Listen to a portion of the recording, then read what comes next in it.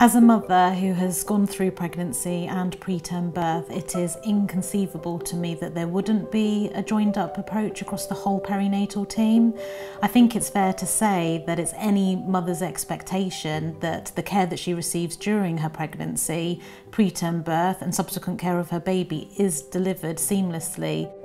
So perinatal care is all about midwifery, obstetrics and neonatology coming together and communicating effectively and providing the best possible care for the mother and babies.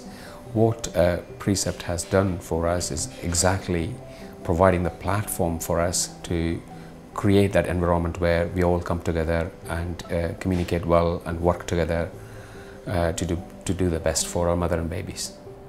So since um, we've started uh, Precept, our magnesium um, sulfate uptake rates for eligible mothers have gone above 85% and in, at least in the last six months not a single mother who is eligible for magnesium has not received it. The collaboration between the obstetricians and the neonatologists at this unit has definitely changed um, in a formal way, but also in an informal way.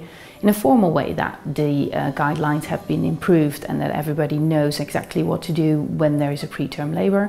In an informal way, there is more um, day-to-day -day contact about new projects um, to improve the quality of care um, of both moms and babies at uh, this unit. The highlight for me, I think, has been where it's taken my career. I've been working clinically as a midwife for 12 years. I've never had an opportunity like this to do anything different other than working on Delivery Suite. I've really developed a love for QI, which I didn't even know what QI was prior to Precept. I'm also the lead midwife, the quality improvement midwife at Medway Hospital now as well, and I've got a couple of other projects, the QI projects that we're looking into and I'm really enjoying this side of healthcare and you know, benefiting patients, trying to improve our healthcare that we're, we're giving to our ladies at Medway Hospital. The, benefits of Precept within the unit was to really engage all staff groups to, to embed the work. And pr previously, when we tried to implement change within the unit, because it was driven by sort of medical staff, it was difficult to, to get the buy in from the midwifery team. So using midwives as as key individuals to to share learning to aid implementation um, made a huge difference and it certainly led to a much speedier uptake than it had in, in any of our previous attempts to, to implement change, particularly within within the delivery suite. Um, so having the having the buy-in from the midwives was really important.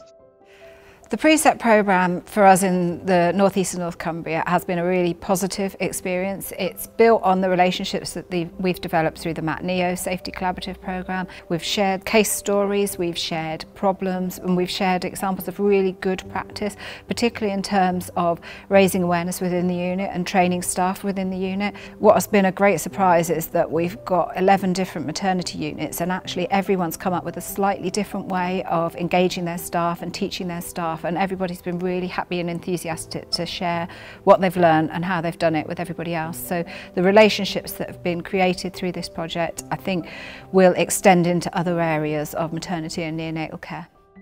I really feel this project um, has gone from strength to strength and now um, I've been to neonatal units around the country and have seen that the levels of, of women being given magnesium sulfate is going up and that just, you know, absolutely fills me with pride and, and with joy because behind every single infusion of of magnesium sulfate is a is a little boy or a little girl just like Cormac and and a, and a family just like ours. And I think that um, every single family should have that chance um, to be given this drug to to to hopefully um, reduce the risk of cerebral palsy. Um, so yeah, I, I think I shouldn't be lucky.